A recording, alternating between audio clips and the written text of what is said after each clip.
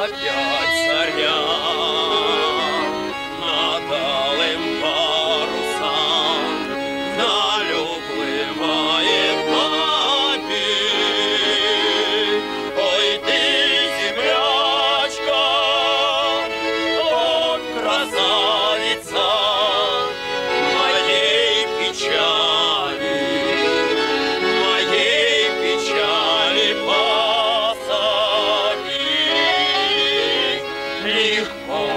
тебе